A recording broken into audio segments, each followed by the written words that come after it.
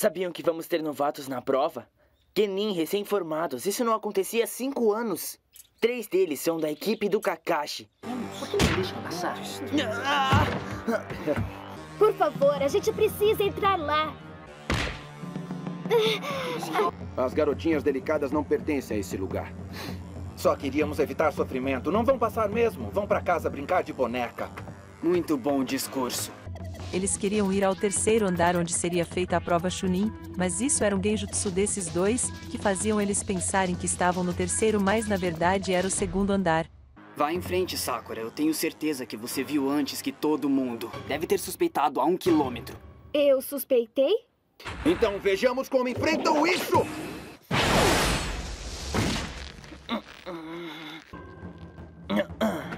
Ele segurou meu chute. Meu nome é Rock Lee.